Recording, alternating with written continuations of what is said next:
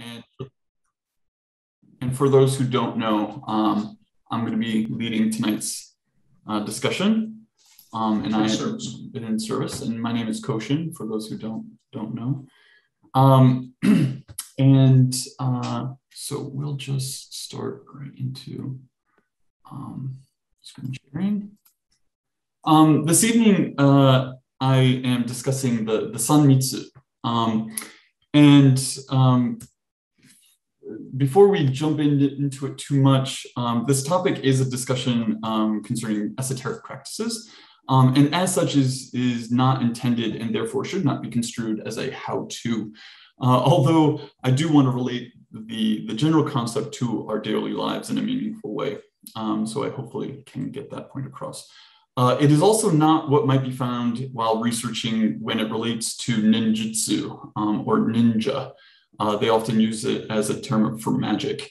Um, there's too much information out there available that does not relate to how we use Sanmitsu in a Buddhist perspective. Um, and frankly, it's not magic at all, but uh, is often thought to be so. So I hope to make that distinction um, through the discussion tonight. Um, so what is the Sanmitsu? Um, Sanmitsu, or three San, secrets or mysteries, Mitsu, uh, is generally um, defined as body, speech, and mind.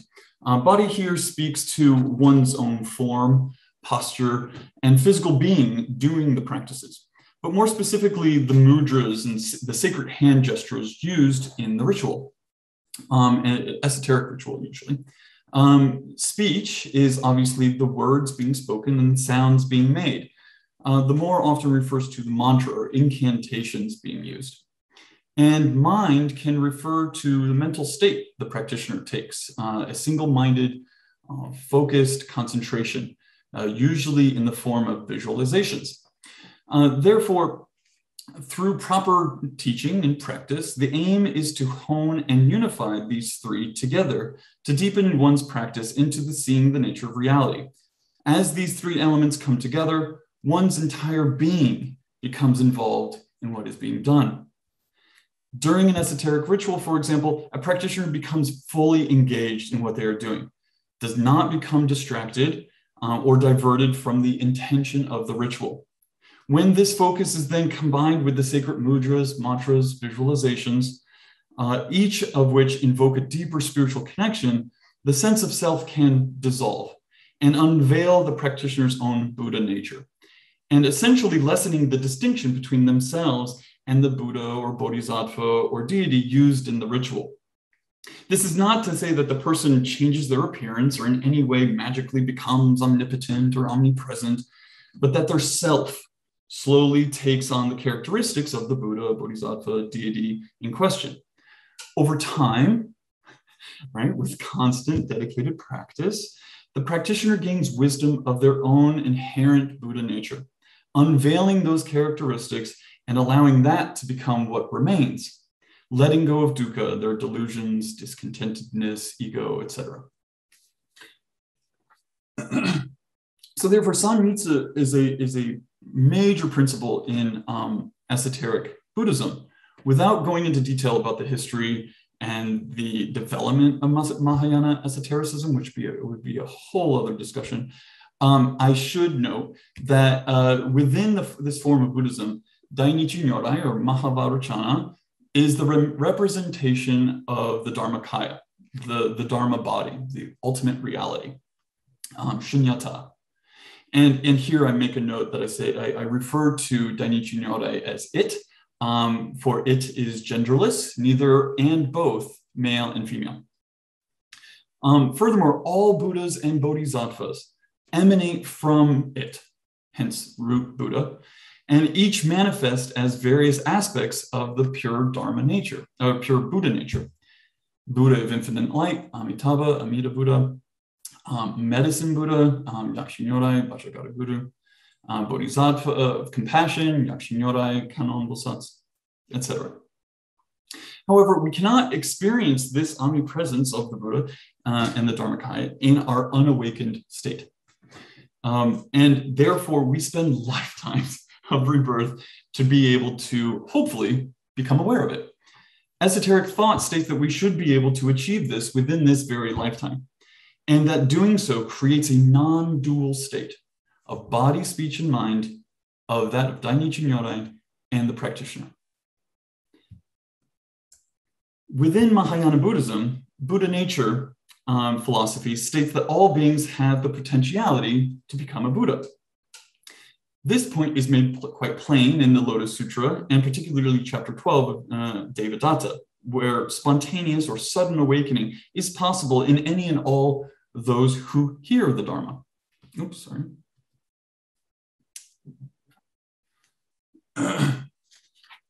um, the Buddha nature thought, therefore, implies that we all are able to become awakened, as difficult as it may seem. This, uh, this concept is further elaborated within East Asian Buddhism with the principle of Hongaku, or original inherent awakening, which takes particular importance in Huahan, the Huayan and Ch'an schools and is a major theme in the Platform Sutra. This then greatly influences the teachings that Saicho and Kukai, founders of Tendai and Shingon respectively, uh, acquire in their trips to China in the end of the 8th century. Therefore, both Hongaku and Sanmitsu concepts play a pivotal role within Tendai and Shingon esoteric Buddhism as being foundational perspectives from which one practices. And within Tendai specifically, Hongaku takes on an expanded viewpoint to incorporate all of nature, thus implying that all phenomena, stones, rivers, mountains, are sentient, and as such are expressions of that Dharmakaya, the Buddha, Shunyata. This does not. Uh, this does imply a distinction between Tendai's esoteric teachings named Tai Mitsu versus Shingon teachings To Mitsu. The former incorporates esoteric, uh, esoteric teachings as a way of practice. The, the latter uh, remains as a single practice approach. This implies that within Tendai, aspects of Sanmitsu can be found in Nembutsu practice, certain meditations, uh, chanting practices, not only esoteric practices. And if this approach can be utilized in a multitude of different practices, and if Hongaku thought states that the entire phenomenal world is inherently the Buddha, then each moment, each action, each thought, each every every every, every everything, everything, everything is the Buddha as well. Our conduct, what we do, how we do it, are expressions of that same integration into all of nature. A chance to extinguish the self and experience the true nature of reality. At this point, you might be asking, so what? Um, we are not all esoteric practitioners, and thus use the Sanmitsu uh, and, and, the use of Sanmitsu may not make sense in the way that I've described it. It does uh, seem rather extraordinary to be able to become a Buddha in this lifetime, and probably rather pompous to be able to claim as much. Uh, this may be why uh, many see esoteric practices as a gateway for magical powers, or why uh, it may not be conducive for someone who is more ego driven or doing the practices for more personal gain. And as Monjin Sensei always tells me, humans have an infinite capacity for delusion. He says this to me particularly, I don't know why. Um, but conceptually, at least, uh, the Sanmitsu can be very important to our daily lives. So, so what? Well, because uh, if we look at the principles behind Sanmitsu and take the esoteric practices out of it, um, I would argue that we can experience it on a much more mundane level rather routinely. Uh, we might often define mastery in something as a unification of body, speech, and mind. It makes me think of something in particular, um, something um, that musicians often talk about being in the zone or having such proficiency in a skill that the person no longer has to focus on how and all and allows it to come from themselves without the effort or distraction in such a way that they're able to see past the act and can experience the underlying meaning inherent in it. It can gr- greatly influence our religious practice. For example, each of these uh, meditation gatherings that we do, we recite the bija, Sanskrit bija, Om Ah Hum near the end of the service. We can, of course, open our mouth, make a sound, and move on. But uh, if we were to focus in such a way of sitting up straight, filling our lungs fully, drawing down our diaphragm, expanding the ribs, then opening our mouth and throat, allowing the sound to come out unencumbered, um, just enough force as to not waste the breath, but enough to use it, to every ounce of it as a strong, forceful sound, to feel the vibration in our body down in the root, in our dantian, in our pelvic bowl, and up through the head, uh, and visualizing each bija, uh, om, ach, and hum, uh, opening that corresponding chakra. It can strengthen the connection to something that may not be otherwise noticed or experienced. That intention, that concentration, that focus may provide a deeper understanding and a more fulfilling experience. Thus, the Sanmitsu can uh, increase our smriti, or uh, the Buddhist definition of mindfulness, very tangibly, not magically. It, it can set a, a, a proper intention. It can clear our mind of discursive thoughts. We can act and, and communicate in such a way that does not mislead or is itself misled, and to comport ourselves in a much more meaningful way. This is not just in our on the cushion, as it were, but in all aspects of our life. Uh, all, excuse me, all of this is to unify body, speech, and mind, to dive deeper into the moment to moment aspects of our seemingly overwhelming lives. And with practice and diligence, that veil of me and other, of this and that, and self and Buddha can dissolve. As we go through the Gongyo today, pay closer attention to those portions of the service. Chant a little louder or be aware of the words being said. Visualize the medicine Buddha as we do the, the mantra. See in your mind's eye the, the transference of merit during Soeko. Be more aware of your posture during meditation, and so on. Do what you are doing. Throw yourself into it, and whatever it may be, and experience what comes out of it. Um, that's all I have for that portion. I will open it up for um, questions, comments, and thoughts. Can you help me unmute, please? As we help folks do that. And if you so choose to unmute, feel free to do so. Have any thoughts or questions? And hopefully I can, hopefully I can respond to some of them. Yes, Mushi. Yeah, it's my understanding that uh, you need to be ordained in order to practice most of the esoteric uh, practices like mandala practice and uh, and some of the others. Is it true? Uh, for many portions of esoteric practices, yes. Um, right. And and so you know, um, as I so how's that relevant to the sangha? Well, as I was trying to explain, so in certain aspects, we have certainly during in in um, retreats and things. Um, for example, last weekend we did the Ajikan medita- meditation, the full moon meditation of, of mm. at the Sanskrit bija. That is very much of a use of sanmitsu. Okay, um, for example.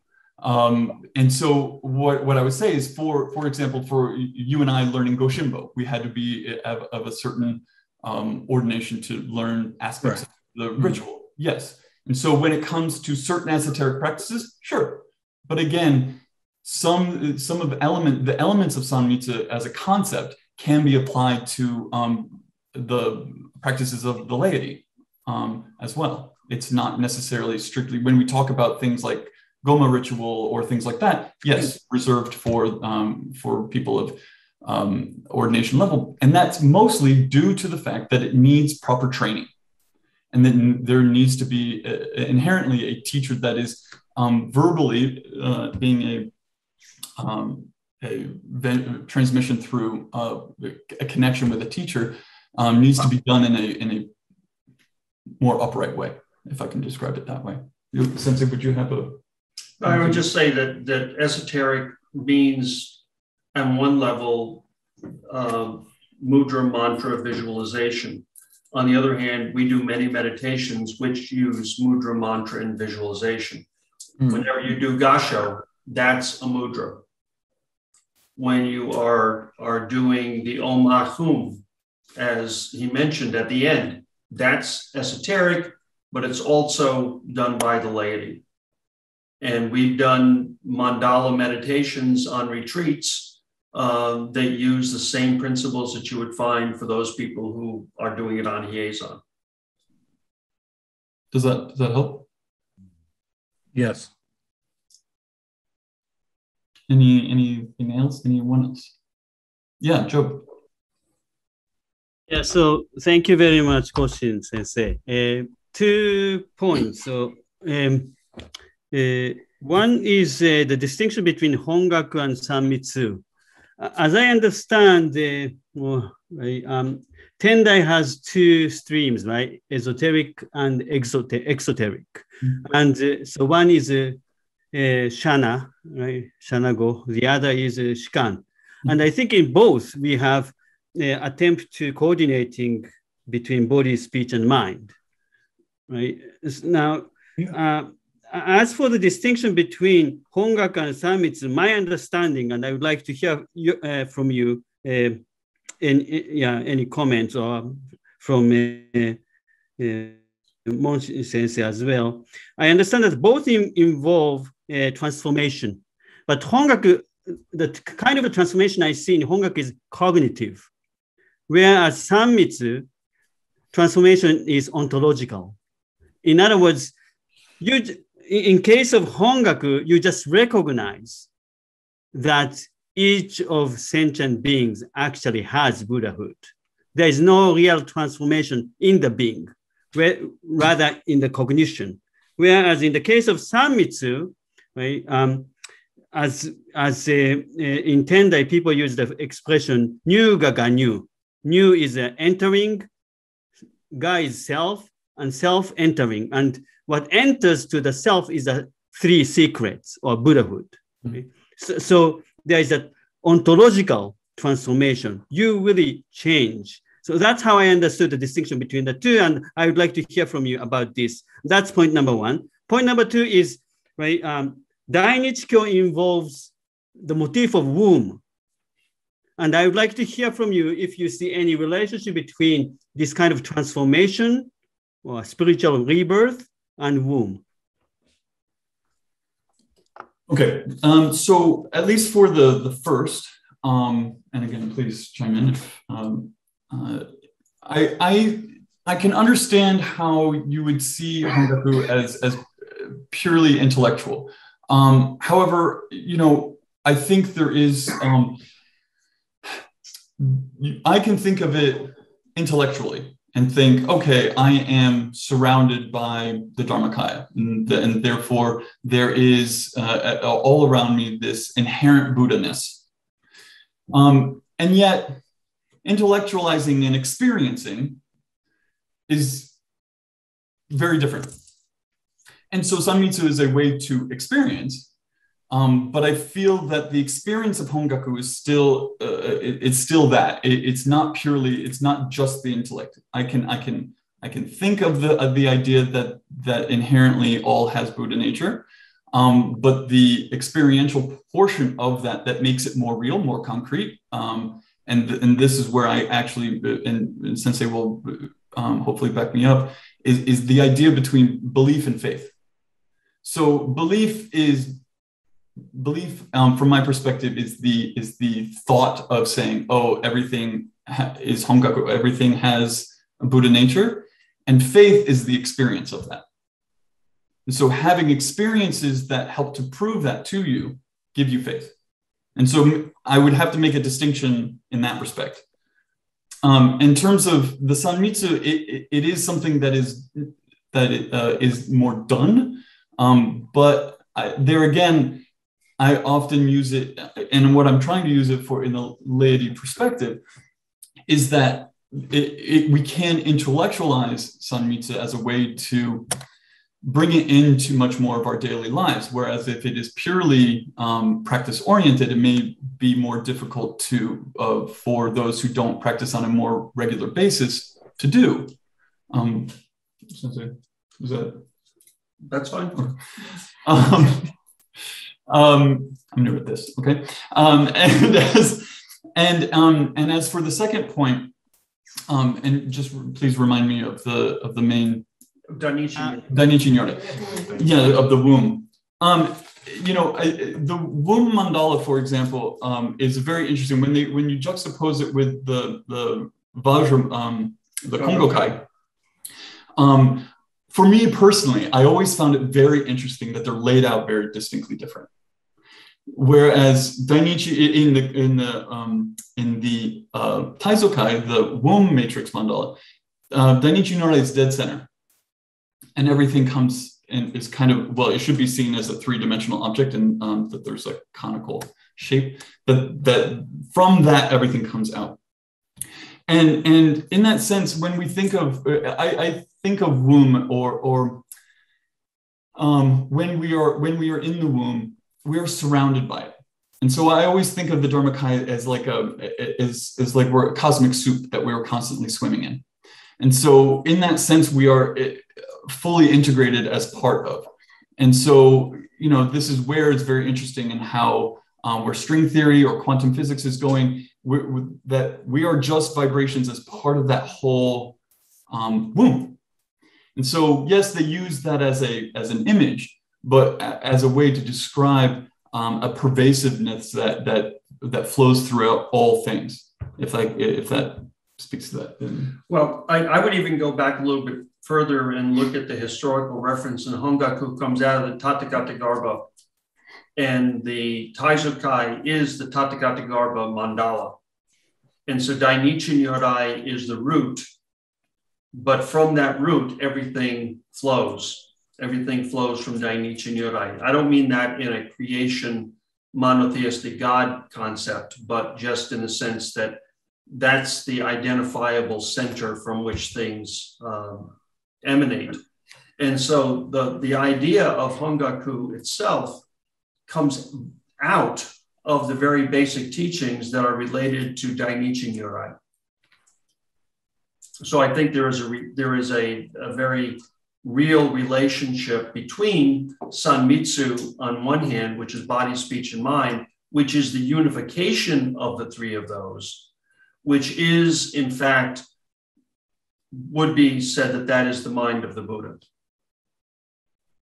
If, if that's if that's helpful. I don't know. If, I don't know if I further confused you, Joe, or if I no, no, no. I, no, I understand where you're coming from, and the, uh, and and, and but I, it seems to me that still a uh, hongaku has to do with, and I, what I meant by cognitive is not just the intellectual, but but it's kind of a cognitive breakthrough uh, resulted from some kind of transformative experience. Mm-hmm. But that, but what, but the, the Buddhahood of uh, the, the sentient uh, of sentient beings that we begin to recognize are always there. Whereas in the case of Sanmitsu, it seems to me that you really undergo an ontological transformation.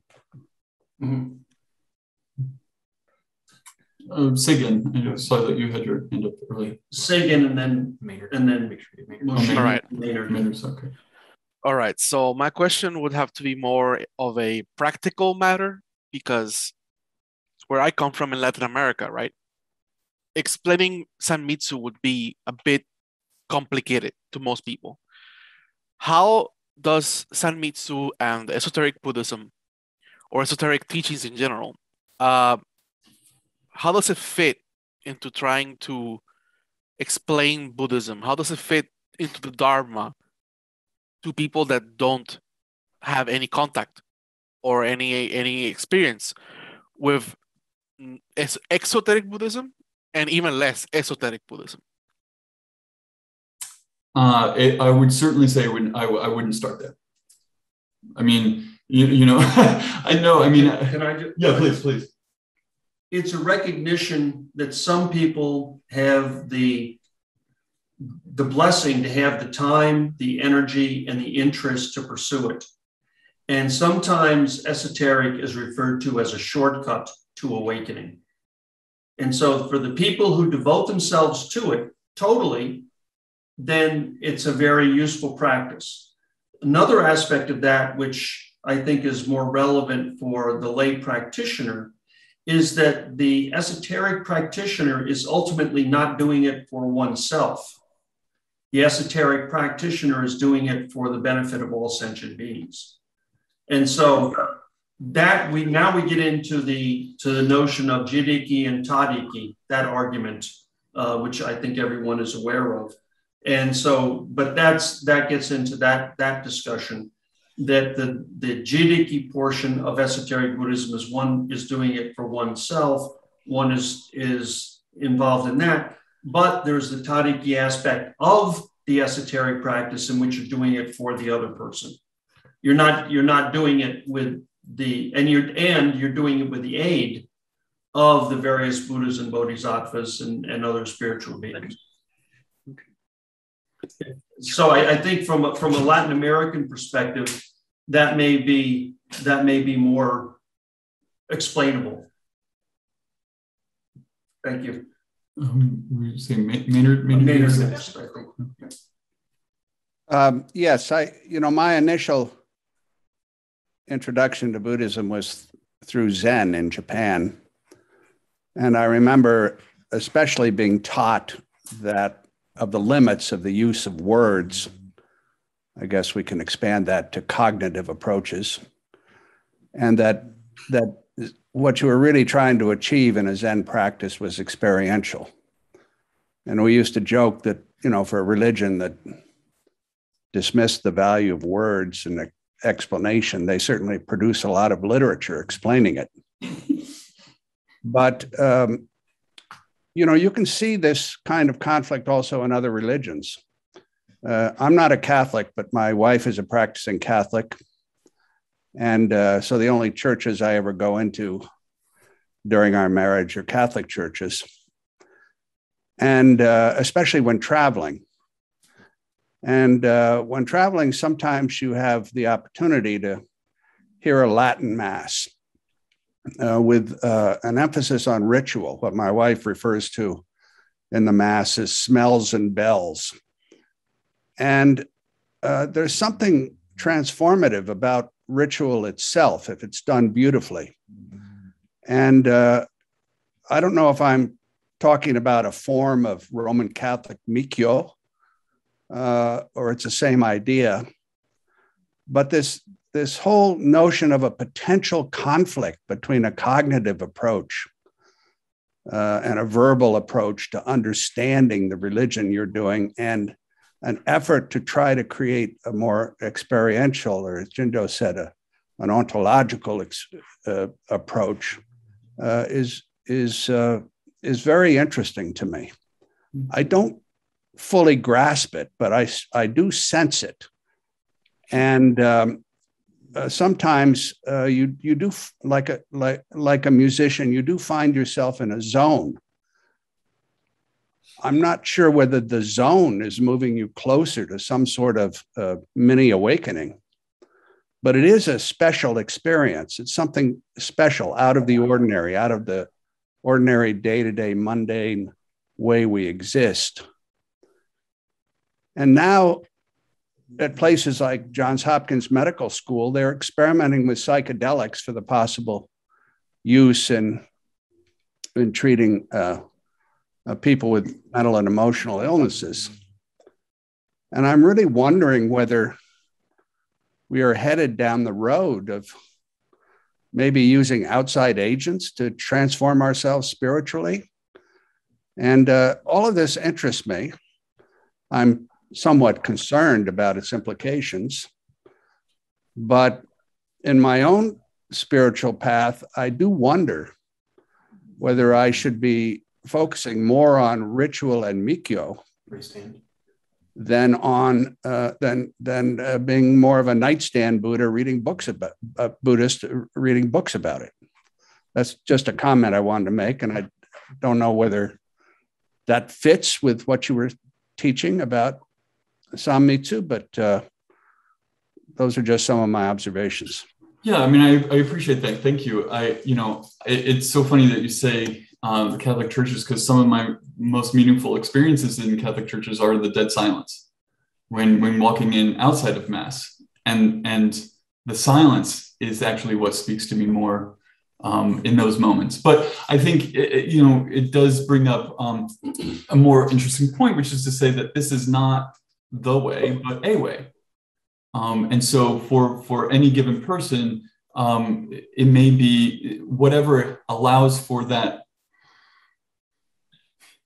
experience that helps to broaden one's perspective can I poo-poo it if it's if it is part of Hongaku in and of itself? If it is part of the Dharmakaya, then you know, um, obviously we may may on a mundane level talk about whether psychedelics are actually helpful or not. But you know, for some people it has proven to be so. But whether for me or not, that's a that's a whole other conversation. Um, let's see. I just wanted to make sure. Then Glenn has his hand up. Oh, I see a whole bunch of other hands. Um, John, you had your hand up. Uh, yes, I just wanted to thank you, Koshin, for this presentation. Uh, you provoked a thoughtful and meaningful discussion. I've enjoyed that as well. Thank you. Great. And Mushin?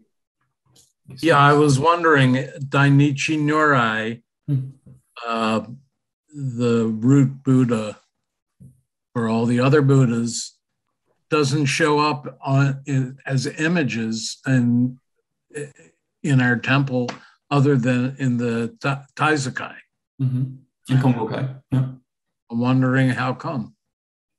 Well, I, I should probably answer that. Yeah, please. Well, the reason is because, you know, for instance, the largest temple in Japan, I think it's, no, it's not the largest temple in Japan, it's the oldest temple in Japan. Um, I'm forgetting the name in, in Nara. Oh, yeah. I've uh, been. Yeah. Uh, that Dainichi Nyorai is the is right. the main name in that temple.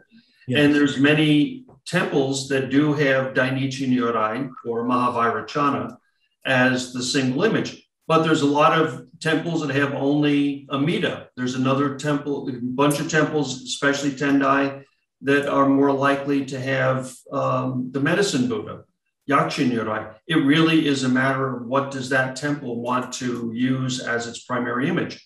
Some temples use an esoteric image, such as as Fudo as a primary image. And you're not going to find any of those other Buddhas. So ours was an active choice of Kannon Bosatsu, compassion, Yakushi Nyorai healing, and Bishamonten protection.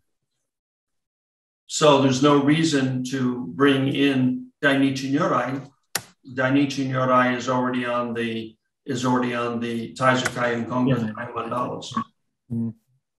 And and from an esoteric perspective, um, all all the other Buddhas um, are uh, avenues towards, and so um, if uh, if we're looking at the unification towards uh, Yakushi Nyorai, for example, um, the the theory would state that by unifying with Yakushi Nyorai, you're actually also unifying with Dainichi if, if from from an esoteric perspective. But right. Um, any other kind of quick? Uh, oh, Ralph, yes. Um, yeah, the Mushin, you made a comment uh, uh, a little bit ago, uh, uh, and that was the quote unquote a shortcut uh, right. to enlightenment, um, and that grabbed me a little bit because I remember hearing that or being told that about tantric Buddhism. Tantric Buddhism is esoteric. Esoteric. Yes, I understood that. They're, they're, they're, but you're thinking of tantric in terms of the sexual practices and that sort of thing, I assume. No, no, I'm okay. thinking of it in terms of the because, mantras and the esoteric uh, practices and it being a, a, a quote unquote shortcut. Uh, yeah. uh, uh um, and, and, and that goes back to what, to specifically what uh, Koshin was talking about with Sanmitsu. Yes. So it's the unification and it's an attempt by the practitioner, whether one is doing it as an esoteric practice or as a lay practitioner, you're doing it, you're trying to cut through the stuff that gets in the way, the hindrances that get in the way of our achieving awakening. That's right. what Sanmitsu is. Whether you're doing it in an esoteric practice with physically mudras and mantras by someone who is so trained, or you're doing it in your daily life so that when we do Om Ahum this evening, doing it fully, and you drop away that that provisional self, which becomes really important as, as part of that process. Right. Okay. So there is a relationship then between uh, uh, uh, tantric Buddhism and uh, and uh, the uh, just just different terms for the same thing. Right. Got it. Okay. Thank you. Good question. Thank you. Anyone else? Great. Um, we are going to move right along. Um, the Dharma talk for this evening. Um, when I was asked to do this, I was also asked to do the October Shingi. So I'll be the contributor for the meanderings um, for the October Shingi. Uh, and in that, I, I discussed my recent wrestling with choice and how that and what has influenced them in my life. And so when it came to this evening's discussion of the Sanmitsu um, and reflecting on, on what role it has played in my own experiences, the two somewhat overlapped. Um, but it's obviously, the Sanmitsu is obviously a vast topic, but it is one that I feel personally very strongly about. And having used it in my own practice and those few times um, of at least conceptual understanding uh, have had a tremendous impact. However, there are way more examples of when I was not utilizing it. And it's and it's only in hindsight that I can recognize that if I had, it might have been more beneficial. Um, however, both the doing and the not doing can be an opportunity to learn. Both require an, obser- uh, an observance of what Monshin Sensei referred to last week as wise awareness. If I'm only learning from what I might assume to be as positive experiences, I'm actively foregoing about 90 to 99, 95 to 99% of the rest of my life. Because, you know, dukkha, right? When we inevitably do not act in accordance with the teachings, we should at least know that we could have. We try to see how we could have and work with diligence to do so and be better going forward in that essence, Sangemon, the repent, it, that is the essence of Sangemon in the, in the daily service. Any given situation may not have played out any differently, but that's not the reason to cultivate wise awareness. Life will be what it is. External and, yes, internal forces will always be at play. And it, and it would be presumptuous to think that we will always know what is best, how to act, react, interact. And what then is the right choice? There's a whole lot of gray in a lot of this. As much as we uh, might find solace in black or white, gray is most of what there is swinging between both sides of that pendulum. We, treat, we achieve something or we don't. We are kind or we aren't. There is hope or there isn't. Jubilation, depression, ease, overwhelmed being right, being wrong. Where is the gray? These extremes do not provide a sense of that middle way. When does the pendulum stop? When is it still? How do we find that resting place? If we make a choice to do to be and do better in our own lives, we should allow for a lot more gray. We must have the grace and patience with ourselves to best accommodate it so that we can experience what that middle way can be. Being aware of the extremes helps us, helps us know what, how to avoid them. And besides, considering Hongaku thought, the entire pendulum swing is the Buddha. But, uh, but we have to make the choice to use the Buddha Dharma to learn, grow, and change to actually experience what that is. Aligning body, speech, and mind is a way to get rid of the fog of our unawakened state. Find a way through the gray and help guide our moment to moment choices. When you are all uh, when you are all here on any given Wednesday night, and thank you so much, I would assume that uh, this time means at least something to you. You're choosing to be here, or at least I hope, because if you're not, then you have to give me some sort of signal and being held against your will or whatever but you are generously giving time to yourself and that of the people here. Because I hope you believe it can help. However, don't let this be the only chunk of time. And I, and I get that it might just simply be a moment to check in with yourself or tune out from everything else that's going on, and that's fine. but let it at least act as a bell of mindfulness. A time to revalidate the choice to live in a purposeful way. It is not an easy way, but nonetheless worthwhile. And you are worth it. The extinction of dukkha, our discontentedness, and that of all other sentient beings is worth it. The more we take the time to drop into a state of wise awareness, the more that veil dissolves, the more the act becomes procedural and, the, and it is, becomes more ingrained into who and how we are. As it becomes more prevalent in our lives, the more naturally it occurs, impacting not only ourselves, but all of those around us, our earth, and the entire Buddha realm. And in the wise words of who someone I admire very much for all those mashaholics in the world, Colonel Potter coming to us again. It is too big of a world to be in competition with everybody else. The only guy I have to get better than is who I am right now.